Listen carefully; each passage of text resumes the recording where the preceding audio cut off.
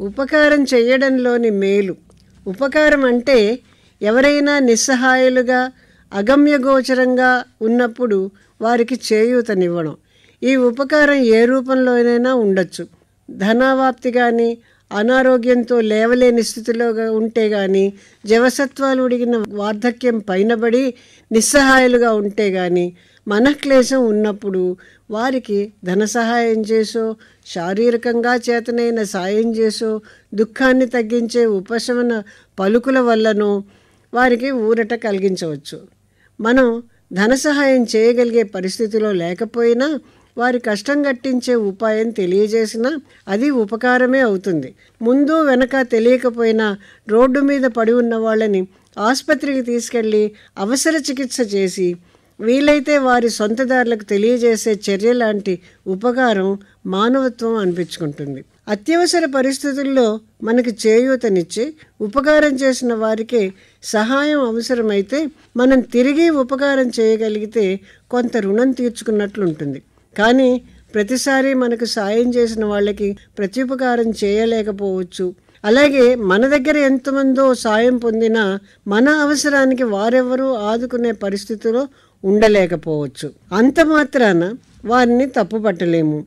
కానీ లోగడ మనం చేసిన మంచికి ప్రతిఫలంగా భగవంతుడు మరి ఎవరి రూపంలోనూ సాయం పంపుతాడు. ఇది మనస్ఫూర్తిగా మనం చేసే ఉపకారానికి ప్రతిఫలం అన్నమాట.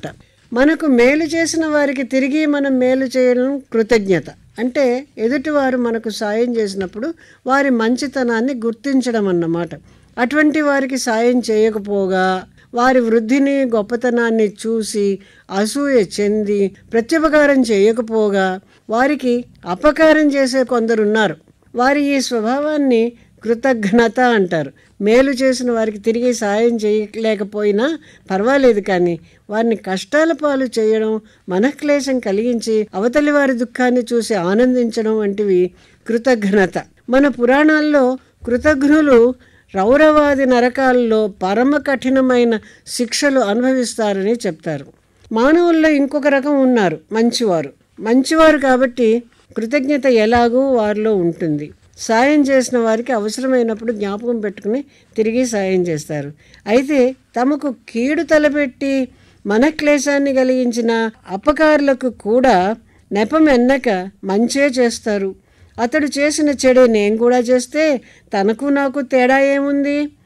కీడుకి కీడు మళ్ళీ బదులు కీడుకి కీడు ఇలా చేసుకుంటూ పోతే రెండు వైపుల వారికి మనస్తాపమే కానీ లాభం ఉండదు. దానికి బదులుగా చెడును గుర్తించకుండా విశాల హృదయంతో మంచే చేస్తే వాడు ఆశ్చర్యపోయి మరింకొకసారి అపకారం చేయాలంటే కాస్త ఆలోచిస్తాడు. పశ్చాత్తాపడ్డాడంటే స్నేహితుడిగా మారుతాడు. కాబట్టి అపకారికి ఉపకారము నెపమెన్నక చేస్తే లాభమే కానీ నష్టం ఉండదు పైగా అతడు మంచిని పెంచే నేర్పు కలవాడన్నమాట. శ్రీరామచంద్రుడు ఇట్టి నేర్పు సహజంగా కలవాడు. రావణుడు యుద్ధంలో రథము విరిగి జెండా గొడుగు అశని శూలం ఖడ్గం నుగ్గు నూరైన సారథి కూడా చంపబడినప్పుడు అలసిపోయి నిస్సహాయ స్థితిలో ఉన్నాడు. రాముడు తలుచుకుంటే తన భార్యను అపహరించి అంత మనస్తాపం కలిగించిన దుర్మార్గుణ్ణి సులభంగా చంపగలిగేవాడు. కానీ వాణ్ణి వదిలిపెట్టి ఈ రాత్రికి విశ్రాంతి తీసుకుని మరొక రథం సారథిని తీసుకుని రేపు రా అప్పుడు నీవు రథం మీద ఉండి నా బలం చూద్దు గాని అని వదిలిపెట్టాడు. వేమన్న గారు కూడా బద్దెన సుమతి శతకంలో చెప్పిన భావం వంటిదే చెప్పారు. చంపదగిన ఎట్టి శత్రువు తన చేత చిక్కనేని కీడు చేయరాదు. పొసగ మేలు చేసి పొమ్మనుటే చాలు. విశ్వదాభిరామ వినురవేమా?